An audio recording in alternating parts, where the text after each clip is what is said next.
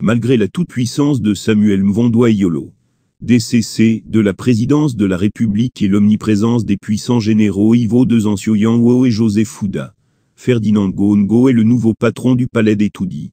En dehors de la détention de la signature de Paul Biya, le secrétaire général de la présidence de la République est désormais l'homme qui décide et reçoit Etoudi, au nom du chef de l'État. Ces dernières semaines, presque toutes les demandes d'audience adressées au chef de l'État sont passées sauf qu'en dehors de celle du président Faustin Archange Touadéra, qui a exigé à parler uniquement qu'avec Biya. Tous les demandeurs d'audience ont traité avec Ferdinand Goongo. Cette information que nous avons reçue depuis plusieurs jours, a été confirmée.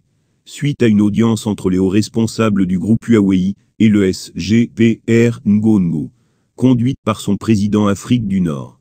Terrieux, la délégation a longuement échangé le vendredi 15 septembre après-midi avec le ministre d'État, secrétaire général de la présidence de la République.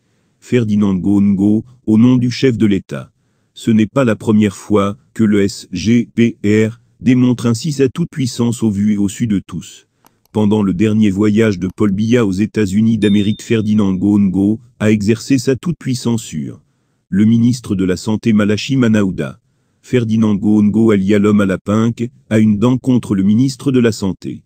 Manaouda Malachi et c'est peu dire. L'homme à la pinque déteste Manaouda, et veut en finir. Nouvel épisode de cette guerre. Le voyage de Paul Biya aux États-Unis. En effet, dans le cadre du sommet États-Unis-Afrique, le ministre de Santé fait partir de la délégation qui doit accompagner Paul Biya. Quoi de plus normal? La santé c'est un secteur stratégique pour les États-Unis et le Cameroun. Quand l'homme à la pinque l'apprend, il est très fâché.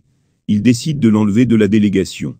C'est ainsi qu'il va informer Paul Biya qu'une importante rencontre placée sous le haut patronage du président dans le domaine de la, santé s'ouvre à Yaoundé, et que c'est le ministre de la Santé qui doit représenter le chef de l'État. Paul Biya va céder, et Manaouda Malachi sera retiré par Ferdinand Gongo de la liste. Écrit le journaliste Boris Berthold. Le seul crime de Manaouda Malachi. Avoir dit la vérité aux enquêteurs du TCS sur les instructions de la Task Force Covid-19. Manaouda Malachi a toujours répété que c'est Ngongo qui donnait les instructions. Certaines instructions portant sur des milliards arrivaient tard dans la nuit. Sur des dossiers, il harcelait sur Azap.